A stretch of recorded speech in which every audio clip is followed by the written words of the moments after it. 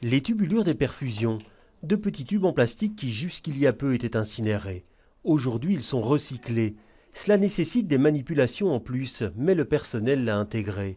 C'est une des mesures du plan éco-responsable du CHU Saint-Pierre.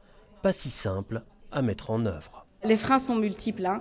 Euh, ben déjà, il y a la charge de travail, ça c'est sûr. Euh, il y a le manque de place parce qu'en fait, chaque fois qu'on rajoute une poubelle, ben, c'est une place en plus qui se prend aussi bien dans les chambres des patientes que dans nos, salles d'utility salle. En trois mois, sur sept services de l'hôpital, 150 kg de déchets en PVC ont été recyclés.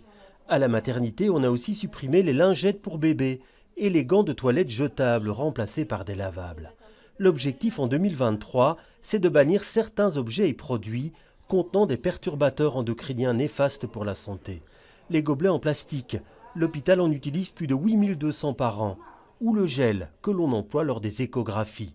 Mais là encore, c'est plus facile à dire qu'à faire. C'est très bien d'avoir identifié un produit euh, qui, est, euh, qui, qui, a beaucoup de perturbateurs endocriniens. Il faut après trouver son remplaçant, euh, à s'assurer que celui-là pas un coût qu'on peut avoir. Et puis, on fait partie d'un hôpital où, ben oui, il y a des centrales d'achat, il y a des marchés publics, et tout ça, ça, ça prend du temps et de l'énergie. Et ça peut parfois aussi ralentir le processus, en tout cas l'énergie qu'on avait au départ. Les obstacles dans la mise en œuvre du processus sont donc nombreux. Le ministre de l'Environnement en est conscient. Oui, il prend un peu de temps parce que c'est des changements de législation, c'est des changements d'habitude et de processus à tous les niveaux de pouvoir. Mais le mouvement est en marche. La région soutient six hôpitaux bruxellois qui ont mis en place des plans éco-responsables.